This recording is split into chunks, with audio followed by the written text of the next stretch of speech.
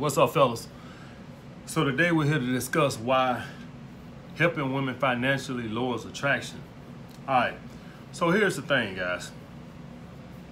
When you're dealing with women, anything outside of just you genuinely is gonna lower her attraction. All right. If you're taking a woman on expensive dates, I'm not talking about girlfriend mode. I'm talking about if you got a first date tonight and you thinking about taking this girl to a $200 or $150 dinner, so essentially what you just told her is, I'm lower value than you, so let me compensate you for your time. All right, that's what you're subconsciously saying. You're saying I'm of lower value than you.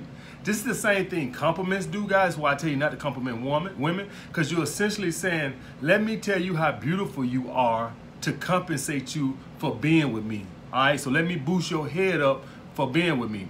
All right, guys, what I want you guys to understand is that we're good enough as is. All right, that's the bottom line. That's how you're gonna get the genuine attraction from women. All right, and let me tell you guys something else too, man. Anytime a girl lick my ass, she instantly lowers my attraction. All right, I appreciate the ass licking, but she lowers my attraction. Why? Because she's essentially saying, I'm willing to do whatever I can to make you happy because I'm of lower value than you. All right. So let me lick your ass to make you happy. All right. Every time a girl lick my ass, I instantly lose attraction. All right. That's the th same thing that happens with women. That's the same thing that happens with women when you eat their pussy. Now, listen, does that mean she gonna stop fucking with you? No. But what's gonna end up happening is you're gonna have a harder time making her submit. Right, you can't make a woman that thinks that you boosted up to let her think that she's greater than you submit to you. That don't even make fucking sense. So what you essentially gonna have end up having is a fucking headache. All right, a woman that thinks she's better than you is never gonna be satisfied. You think a woman that uh, you validated and made feel greater than you is gonna submit to you? That don't even make fucking sense. So if you want a woman to be submissive to you, she have to look at you as the king. All right? That can't happen if she thinks she's greater value than you. All right? So that's the bottom line, guys. Always carry yourself as high value. Now, listen, I want you guys experiencing what alpha males feel. You never gonna experience that as a fucking beta male. All right. So if she takes you as a beta male provider, let's hypothetically say, okay, you go out and you do expensive dates or you help her with her bills or something like that. You lower her attraction, but she'll still fuck with you as a beta male provider. All right. But she still got to go cheat with the alpha because every woman has to get that lust out. All right. They got to have a guy that brings it out of them naturally. All right. They don't they don't want to just sleep with a guy where it's a fucking business relationship. All right, there's no passion in that. All right, that's like a job. Your job is to pay all the fucking bills. Her job is to get you off every now and then. And I say every now and then because she's not gonna be all over you like that. You want if you want women to be all over you like that, they need to respect you as the king. That cannot happen if she sees you as a beta male provider. All right, you're only a fucking wallet. All right, so I don't want you guys, you know, trying to buy women or something like that. You'll never. You, you might be getting a little pussy, but you'll never get that genuine passion. You'll never know what the fuck it means to have a woman sucking on your dick for an hour and love it. That's what happens when a woman submit to you. All right, she sucks on your dick for a whole fucking hour and she loves it. It's not a job. All right, some of you guys can barely get a girl to fuck you. You got to take out, you know, put in your appointment book, hey, we're to have sex Tuesday and Friday and all this other bullshit. You don't know what it feels like to have a woman jump on your dick soon as you walk through the house. And you won't as long as you come, at the come into the relationship as a beta male provider, trying to overcompensate for who you are. All right? So here's the thing, guys. This is why I say drink. See, it goes deeper than just being cheap on the dates and keeping your investments low. It also goes to her seeing you as an alpha. An alpha male seems essentially thinks I don't have to compensate you for your time. I'm good enough as is. When you come at a woman as a beta male provider and you trying to, you know, compensate and show her that you're of greater, she's of greater value than her, then you gotta compensate you for compensate her for her time. All right. So cheap first date go more than just keeping your investment low, guy. It also helps her see you as an alpha male. All right. This is also why I tell you guys to ask women back to your place. Beta males don't do that. I always ask a girl. I can tell you right now, 80% of them going, 80 to 90% of women gonna say no, but you ingrained in her head that I'm not no fucking beta male. All right. And the next thing I seen somebody that wanted to know uh, sent me a question saying, uh, he wanted to know some great conversation starters. All right, guys, so this goes back to the video I made yesterday. See, uh, you know, I told you guys my approach, but if some of you guys just want to have great conversation starters, this is why it's important to do meet women doing things you love. All right. So let's hypothetically say you at the museum, you like art or whatever. You can find a picture and you can talk on it and ask her, you know, how long have you been into art or shit like this, that, and other. If you if you meet a girl uh, shooting pool or whatever the case may be, how long you been shooting pool or, you know, how good are you, whatever the case may be, guys. This is another thing that's going to help you if you're meeting women doing things you love to do. All right, it leads to great conversation starters because you can talk about it intelligently all right, because you know it. If I was to meet a girl now who's into video editing and stuff like that right there, we'll have a long ass conversation. Why? Because this is something I'm into. I'm loving fucking with this YouTube shit. So if I met a girl who's in a video room, um, editing class or some shit like that, we'll obviously have a lot to fucking talk about. All right. So this is gonna help you with your conversation starters if you meet women doing what you fucking love to do. All right, if you like to hitchhike and you meet a girl out there that's hitchhiking, that's some shit y'all can talk about. That is a great conversation starter. How long have you been doing this? You know, uh, what made you get into this? So this is another reason why, guys, you want to meet women doing what you love to do.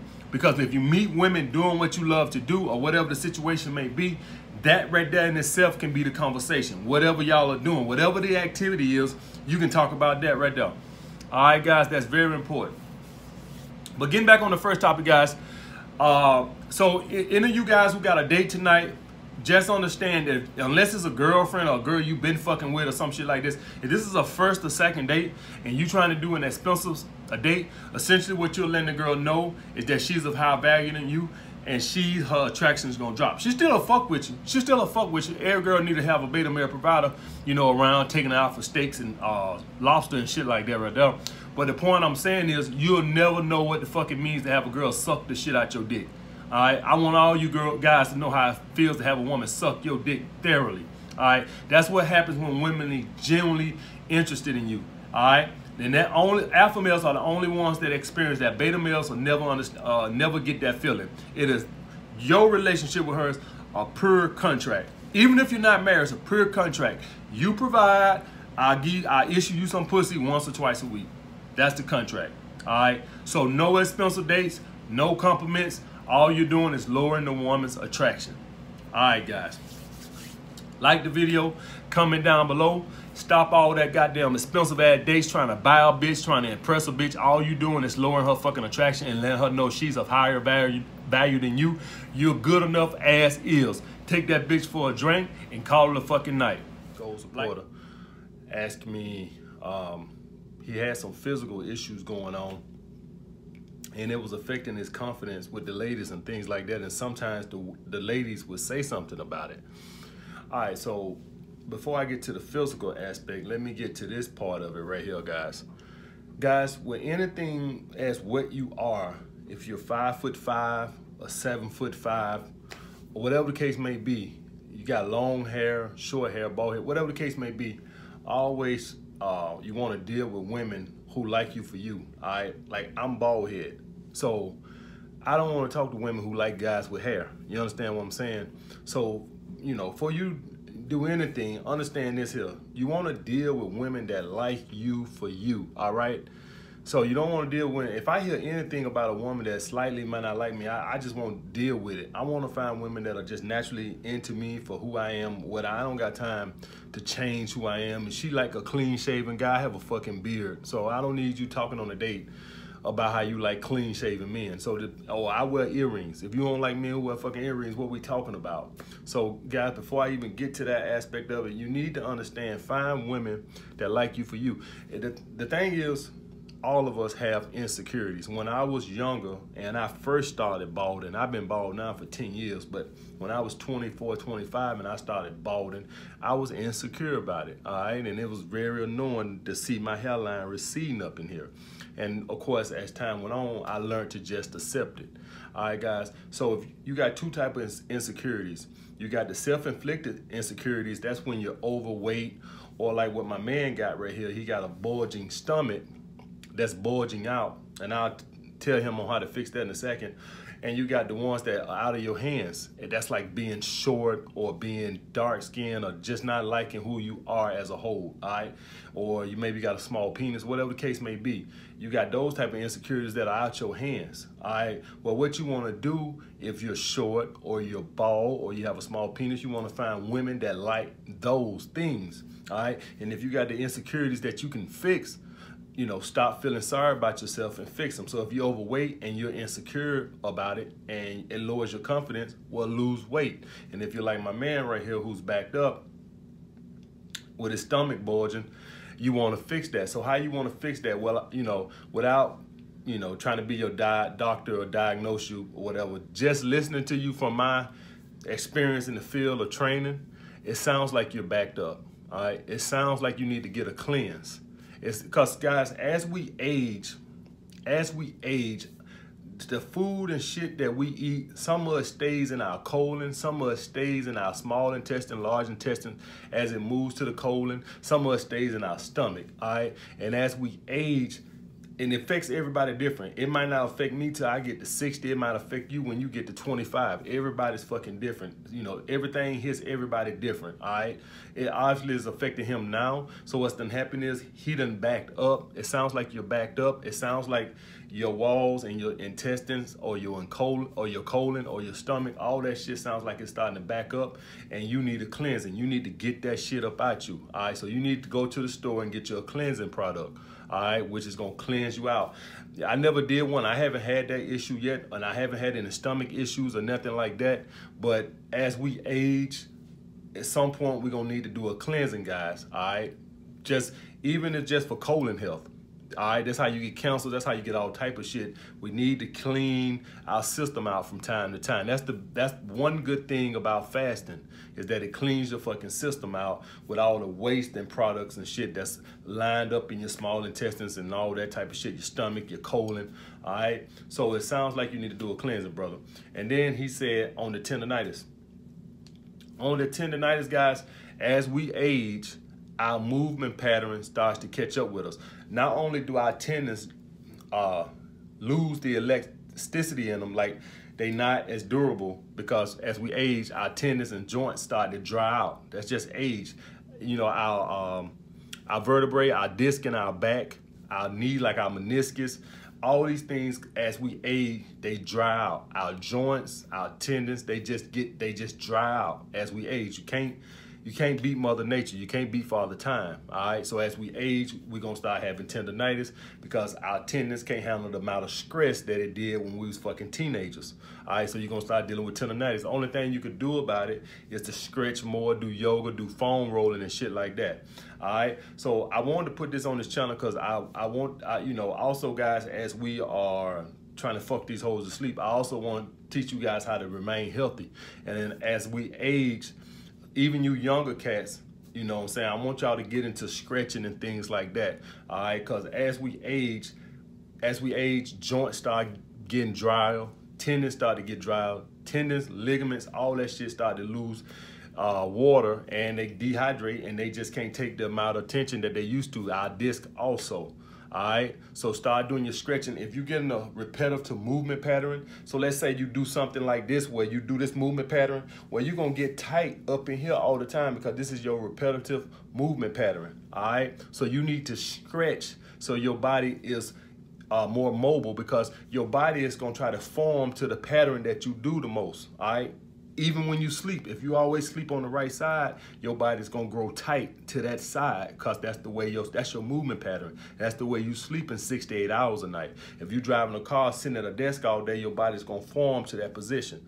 All right, so y'all guys need to get into stretching. That's what that's gonna help you a lot with that tendonitis. All tendonitis is is inflammation of the tendons. All right, that means your tendons are inflamed, which coming from the muscle. The tendons connect to the uh, bone, and the muscle connect to the tendon. All right, the muscle starts pulling too tight on the tendon, and then you got inflammation in your tendon. All right, guys. So the main reason I wanted to put this on this channel is is to show you guys that we all have insecurities. We all have insecurities. If it's an insecurity that you can do something about, like you're overweight or whatever the case may be, get on it. All right, get that shit done. Go to the doctor. Do whatever you got to do. Figure that shit out and get it done. If it's something that you can't, like your height or maybe you got a small dick, or maybe you bald headed like me, or whatever the case may be. If it's something you can't help, then find women that like you for you. All right, but this is something he can fix. This is something you can he can get on and fix that. All you sounds like to me, all you need is a cleanse. All right, all right, guys. Like the video comment down below. Like I said, guys, I want you guys being healthy. I want you guys fucking these hoes to sleep till you 90. All right, not till you just 40. I want you guys fucking these hoes to sleep till you 90. All right, make sure you're going to the doctor, getting your checkups. Make sure y'all in the gym, not just lifting weight. I want you guys focus on mobility all right? Because without mobility, that is health, all right? All the strength in the world can't ain't gonna help you if you can't fucking move, all right? And you in pain with knee pain. Ten, I don't want you guys in pain. I want you pain free fucking these hoes to sleep, all right? Like the video, comment down below what y'all want to see next. I appreciate the uh, the uh, comments, guys. Y'all giving me the recommendation. Good comments. I got all the videos coming. Thank y'all for y'all patience.